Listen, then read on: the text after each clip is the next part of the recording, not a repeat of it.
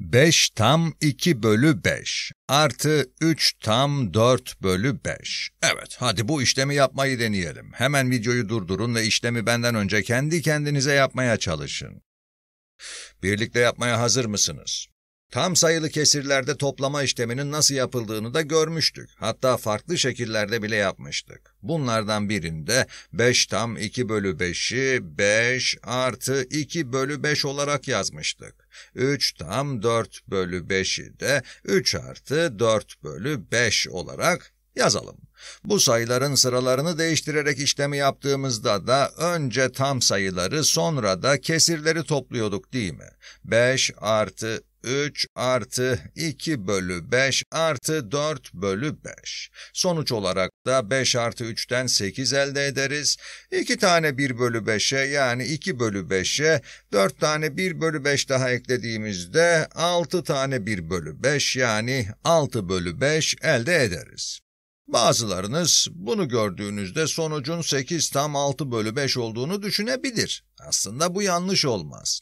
Ee, bu yorumu neden yaptığımı düşünmek için isterseniz videoyu durdurup bu tam sayılı kesri biraz daha yakından inceleyin. Dikkat edecek olursanız tam sayılı kesrin kesir kısmında bileşik bir kesir var. Başka bir deyişle bu kesir bir tamdan büyük. Bu kesrin içinde bir tam olduğuna göre istersek bu kesri basit bir kesre dönüştürebiliriz. 8 tam 6 bölü 5'i 8 tam artı 6 bölü 5. Evet bir tama yani 5 bölü 5 artı 1 bölü 5'e eşittir. Az önce de söylediğim gibi bu yani 5 bölü 5 bir tama eşit olduğu için onu da tam kısma dahil edebiliriz. Eşittir koyayım. 8 artı 1 9 tam eder ve kesirli kısımda da 1 bölü 5 olur. 9 tam 1 bölü 5. Evet bu tam sayılı kesri genellikle bu şekilde ifade etmeyi tercih ederiz.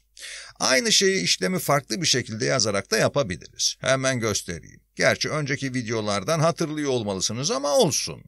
5 tam 2 bölü 5'i böylece yazalım.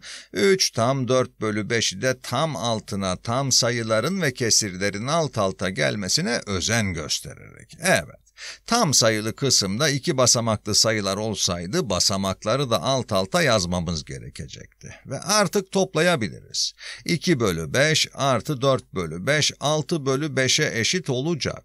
6 bölü 5'i görünce yine az önce olduğu gibi bunun 5 bölü 5 artı 1 bölü 5'e eşit olduğunu düşünerek 1 bölü 5'i kesirlerin 5 bölü 5'i yani bir tamı da tam sayıların üzerine yazacağım. İşte bu şekilde. 2 bölü 5 artı 4 bölü 5 bir tam 1 bölü 5'e eşittir. Son olarak buradaki tam sayıları toplarsak 1 artı 5 artı 3 9 eder ve 9 tam 1 bölü 5. Bu arada bu yaptıklarımızda da mantığın aynı olduğunu ama işlemleri farklı şekilde yazdığımızı da fark etmiş olmalısınız.